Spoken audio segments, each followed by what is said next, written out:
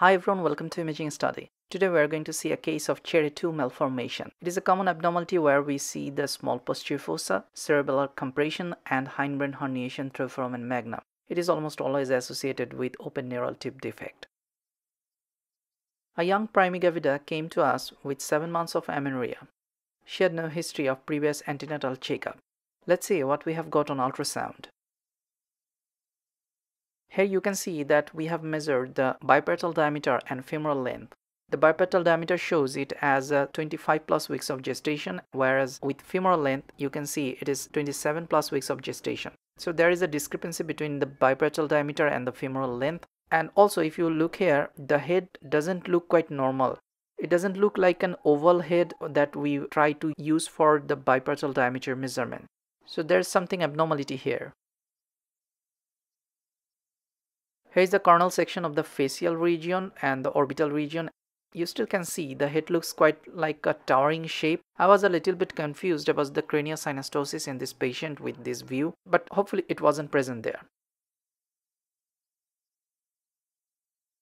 Here's another view of the coronal and axial sections of the head and you can see the concavity of the frontal bone making the head looks like a lemon. So this is a lemon shaped head which is very commonly associated with the cerebellar abnormality and also the spinal defect. So we want to look for that. Also you can see the frontal horns of the lateral ventricles looks dilated here. Here's another view. We have tried to measure the lateral ventricle. Don't compare it with the regular protocol because I was just searching for the abnormalities at that time. The lateral ventricles are quite dilated here in axial and coronal sections. When you are doing the anomaly scan, obviously you should compare what you see with what you measure. Here is another axial section and you can see the lateral ventricles look slightly dilated here and this is the third ventricle which is also dilated, round in shape here, which should appear as a slit-like pattern in normal cases and the head looks lemon shaped and on the right image you can see this is a glimpse of cerebellum it doesn't look like a bilobed appearance, or rather it looks like deformed, almost banana shape. So it is a compressed cerebellum. Let's look at another view and here is the compressed cerebellum and posterior to the cerebellum there is no cisterna magnum here. It is effaced due to the cerebellar abnormality. Let's see on real time and you can see this is the lemon shaped head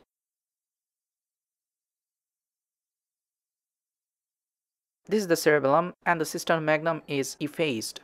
You can't see an anechoic cisterna magnum here.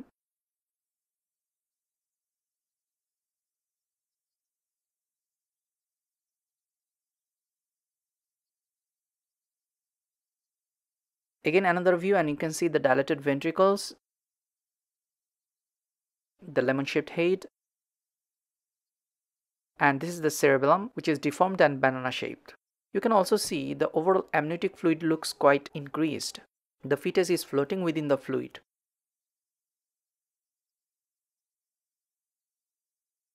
Now let's evaluate the cerebellar abnormality a little more deeper. Here's the sagittal section and you can see there is a caudal herniation. This is the cranial part, this is the caudal part. There is a caudal herniation of the cerebellar tonsil which is causing the effacement of the cisterna magnum. Make sure to be a little bit careful about the presence of any upper cervical abnormality here which will turn it into a Chiari 3 malformation.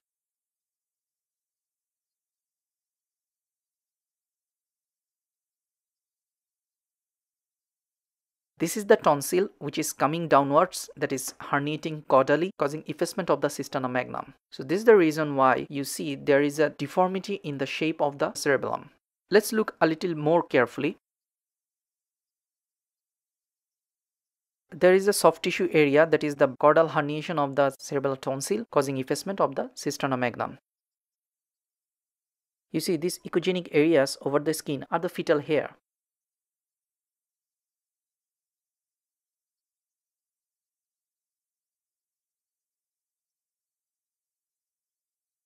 Here's the still image and you can see with curvilinear transducer this is the herniation of the cerebral tonsil this part is quite superficial from the skin. We can also use the high frequency linear transducer to get a better detail and here you can see this is the cerebellar tonsil herniating downwards.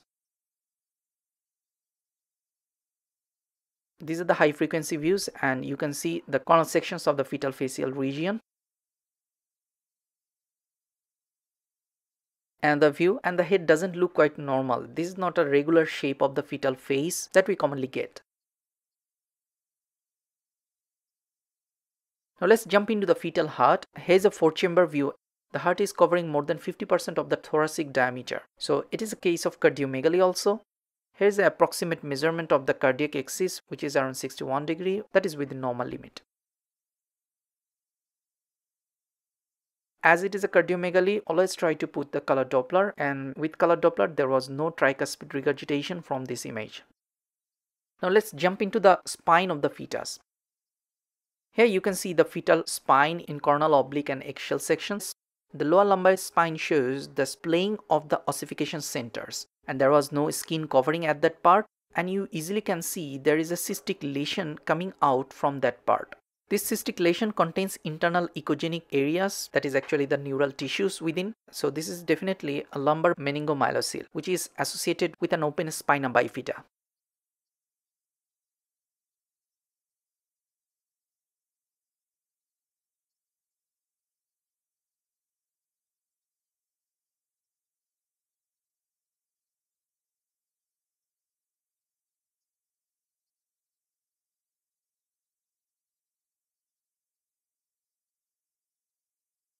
I have magnified the image and you can easily see the splaying of the ossification centers here. That is the spina bifida and you can see this is a thick skin which disappeared at that part. So this is an open spina bifida that is not covered by the skin. Usually the open spina bifida is associated with a cystic lesion here which is meningomyelocele.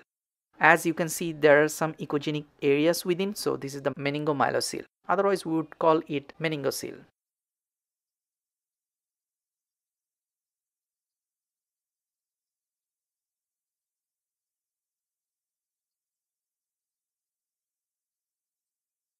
Here's the still picture. You can see the meningomyelocele. And this is the splaying of the ossification center, that is the open spina bifida. In this image, you can see this cystic lesion is not covered with the skin here. You can see this is the skin. There are some echogenic areas within, which is definitely the neural component. Now let's look at the leg of the fetus we try to evaluate two feet. One looks quite normal which may be possible but another foot shows clubbing. You can see this is the tibia fibula and when you see the tibia fibula in long axis then there should not be the presence of five finger view of the foot. But here we can see this is the five finger view of the foot. There is an angulation here which is due to the clubbing. Let's see on real time. Here's one foot and here is another one this one shows the clubbing. You see this is the angulation here. This is the longitudinal view of the tibia fibula and with longitudinal view of tibia fibula you should not see five finger view of the foot as it is present so this is definitely a club foot.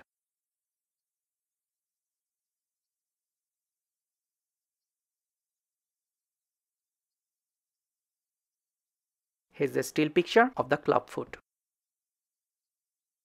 Is it over? No, we want to search a little more.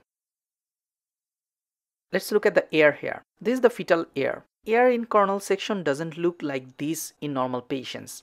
So this is a low set air with some deformity.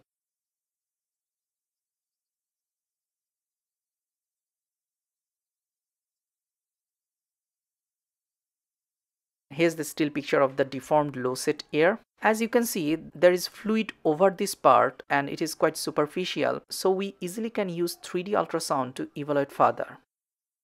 So let's look at the 3D picture. Here is the 3D picture view. Make sure this is not taken with the regular 4-dimensional volumetric transducer. I took it with manual processing with a normal curvilinear transducer. If your machine has that type of function, then you easily can use that in absence of four-dimensional transducer. This is the eye. This is a part of nose which was hidden under the part of fetal upper limb. And this is the low set air. You can see it looks quite like collapsed ear. The fetus was female. This is the vaginal region and the amniotic fluid looks quite increased.